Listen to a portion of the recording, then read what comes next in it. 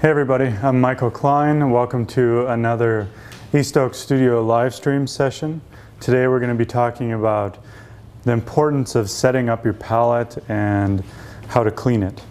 Uh, to me, I think the palette is one of the most overlooked instruments in painting because people kind of assume that you can grab whatever material you want, uh, start painting on it, and it won't affect the process.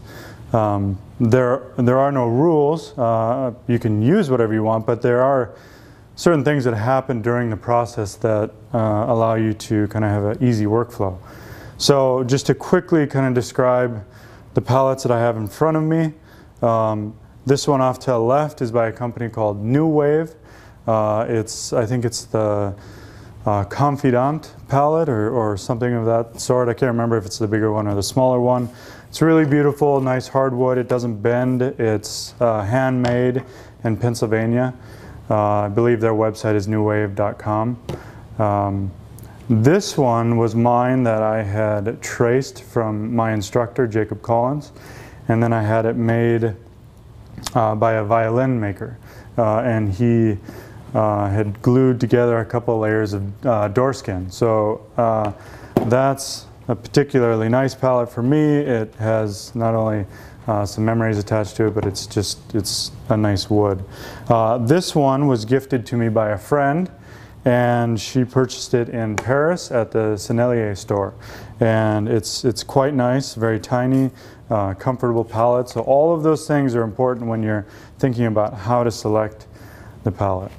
Uh, another thing that we're going to do today is we're going to announce the winner of Alex Venezia's live stream uh, still life class that's happening every Monday night here at the studio. Uh, if you are not familiar with it, check out the website and you can register there. There are three sessions left, I believe. Um, you can always get access to the class after you purchase it, but you can't uh, purchase it afterward because it's only for the students who are watching. And we also have uh, Carlo Russo's live stream coming up. So that's another thing to check out. So getting into it, I want to talk a little bit about um, just quickly kind of before you get into um, the surface or the, the absorption rate. Uh, I just want to talk about the setup of my palette the colors. It's important to always do the same thing every time so when you pick up your instrument it's not like picking up something that you've never played before. It's You're very used to it. You don't have to think uh, about wh where your hand is going, what you're doing. So uh, on my setup I have this idea of thinking, conceiving of the color wheel. Uh, so on the lower left I have the three uh, least saturated primary colors. So I have raw umber, burnt umber, and ivory black. So uh, that will be uh, very helpful to understand once I get the white out and I can talk a little bit about opening up these colors. So I put my white on the right at the top. So there you can see I have three primary colors in their least saturated state and, and the brightest, lightest white. Um, so typically I mix with a brush, but today I'm going to mix with the palette knife. So each one of these things has a local color to it. So the, the uh, I use raw umber for these colors because each brand has a different kind of shift and the hue can fluctuate. So you can get, say, you may have a raw umber that is a neutral green. So you don't want that. This is a this is a neutral yellow. Okay, and then so you come over and you mix the burnt umber and you realize how kind of pink it is. So that's how I look at my uh, neutral red. And then moving up into the black, which is obviously the blue. So there, if you can get a sense of how you get down to the neutral colors without having to mix all of your neutrals. So often they talk about taking your yellow and mixing it with the complement, violet, and getting a neutral. But in this case, it's way easier just to shoot down to the center of the this idea of a color sphere and color operating in three dimension so that you can get to a neutral yellow very quickly. Now on the flip side of that, uh, if you think all the way up to the, the uh, most intense kind of pure color or uh, highest chroma or highest intensity, however you want to term it. Um, essentially, if you take yellow and spread it out and you glaze it over a white surface or any surface on, on your palette or painting, that's going to spread the paint thin and that's going to be your, your highest chroma uh, color. And then beyond that, if you add white, then it loses chroma and it gets into a higher value. So um, I'm saying all this stuff quickly because it's just it's a matter of kind of understanding the systems and how color works. But as you get used to it and you're in a flow, it's very helpful to know all these things because then it allows you to express yourself easier. Um, you can get into the poetry of painting as opposed to the technical stuff.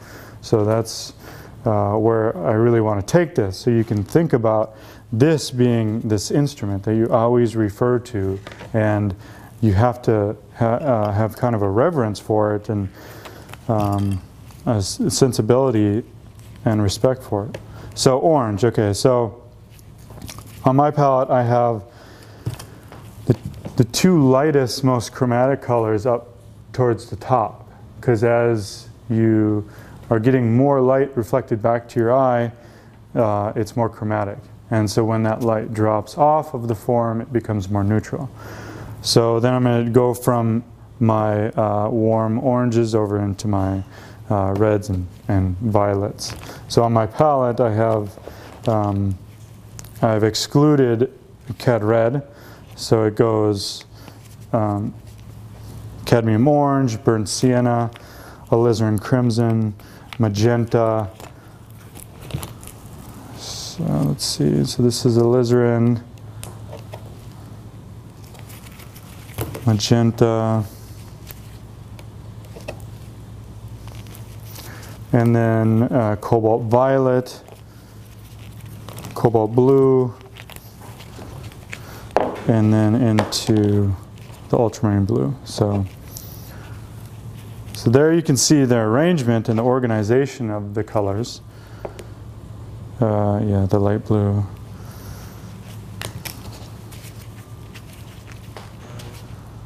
Now the dark blue. So if I got into a little bit more mixing, you'd be able to see how all of these, actually Louis, can you hand me a brush? I think it'll be a little bit easier. Any brush over there is fine. Um, it'll be a little bit easier to understand because this looks kind of muddy. So those are the three neutrals. Thanks, buddy. So I'm going to get rid of those. And I'm going to create a string for you to see how I think of the, um, from the neutral yellow up to the high chroma yellow. So I've added raw sienna there because that's a dark, that's in between. So essentially I'm taking the raw umber, then uh, raw umber, then I move up into the raw sienna. So you can see this kind of transition wanting to move up into the light. On my palette, I always mix from the dark to the light. So it's like if you're if you're playing guitar, you know, you're moving your hand up and down the the neck of the guitar, changing the notes, and it's just it's a system, and you you can get into a song and not have to think about it. So that's that's massively important when you're thinking about painting. So many people don't uh, relate these things to kind of a, a systematic approach because with Impressionism, everything was kind of uh, more gut reaction. So then I go into workshops and you see just kind of, you see everything. You see uh, people, uh, you know, their palette is dry and dirty and all these things. So uh, I'll do the blue really quickly.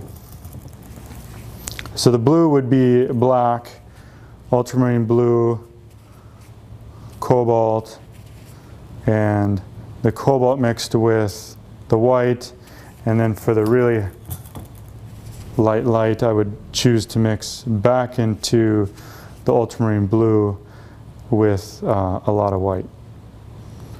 So you see that's the scale going down into the neutrals. So that's basically how I'm interconnecting the palette and always thinking about these things on a sliding scale from uh, a less chromatic to high chroma up towards the top right. So whatever I'm looking at, if I'm painting a flower and it's, it's falling away from the light, I'm just immediately going left on my palette and I'll hit the notes that are kind of the notes that oftentimes harmonize with the background. And then as the petal is either light's passing through it or light is hit bouncing off of it, then I move up to my right and uh, get those higher notes. Now with cleanup of your palette, um, you can uh, save the colors so you can put them on a different palette, a palette that you're going to use the next day or uh, put them in the fridge. That's often what people do so they don't form a skin. Um, there's all kinds of ways of doing it. You can store it with clove oil. So that's basically, you don't want to throw away all that fresh paint, especially the magenta and cobalt violet. So I'll get this cleaned off.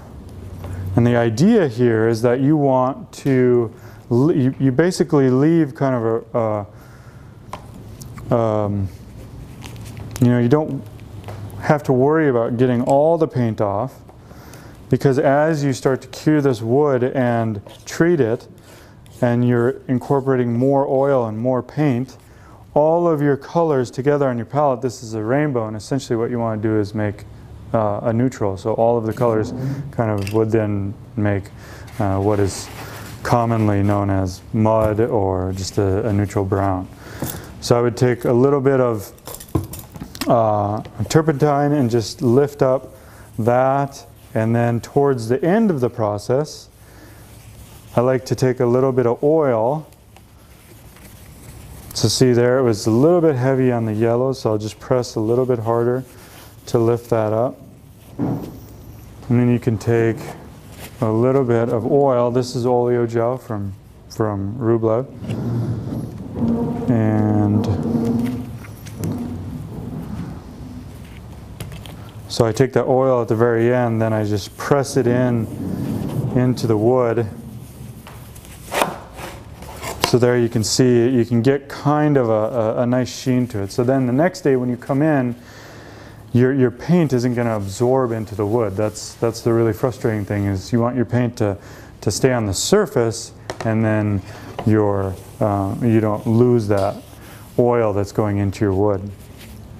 So that's the demonstration. Uh, that's basically how I set up and clean my palette every day. I want to quickly announce the winner to, uh, we had a contest a couple weeks ago that was for Alex's class, so we'll be contacting you. Uh, we randomly drew uh, Mustafa Mahmoud. So Mustafa, congratulations, you won the, the last uh, giveaway we did of Alex's live stream. Again, if you are not familiar with any of these classes, we, we do this as an opportunity for you guys could, to learn about the live stream format that we're offering and uh, to be able to kind of understand how it works.